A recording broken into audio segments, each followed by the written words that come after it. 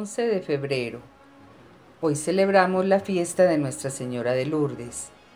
El 11 de febrero de 1858, Bernadette, una niña de 14 años, recogía leña en Masbiel en las afueras de Lourdes.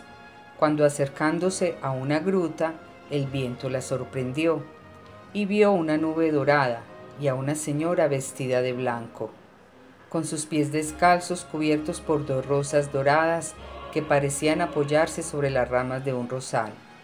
En su cintura tenía una ancha cinta azul. Sus manos juntas estaban en posición de oración y llevaba un rosario.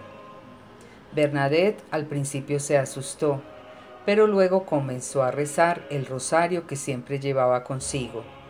Al mismo tiempo que la niña, la señora pasaba las cuentas del suyo entre sus dedos. Al finalizar, la Virgen María retrocedió hacia la gruta y desapareció. Estas apariciones se repitieron 18 veces hasta el día 16 de julio. El 18 de febrero, en la tercera aparición, la Virgen le dijo a Bernadette, ven aquí durante 15 días seguidos. La niña le prometió hacerlo y la señora le expresó, yo te prometo que serás muy feliz no en este mundo, sino en el otro. La noticia de las apariciones se corrió por toda la comarca y muchos acudían a la gruta creyendo en el suceso, mientras otros se burlaban.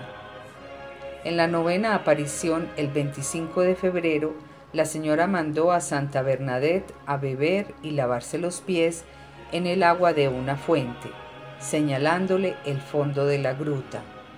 La niña no la encontró, pero obedeció la solicitud de la Virgen y escarbó en el suelo, produciéndose el primer brote del milagroso manantial de Lourdes.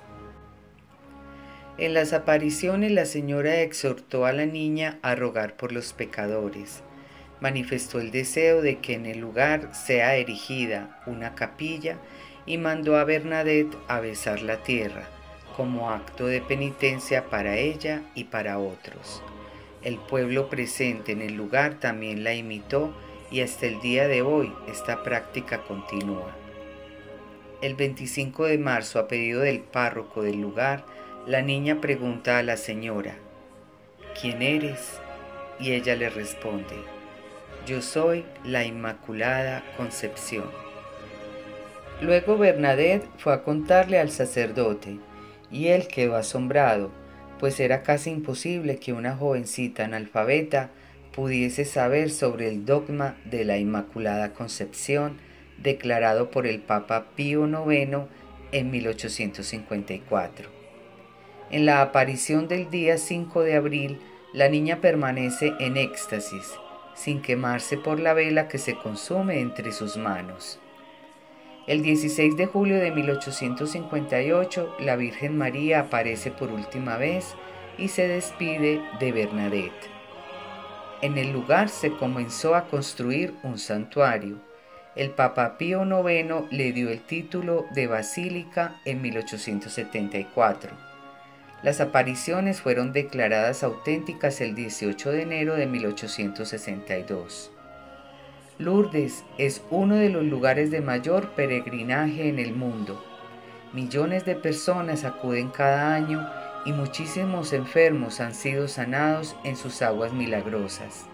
La fiesta de Nuestra Señora de Lourdes se celebra el día de su primera aparición, el 11 de febrero.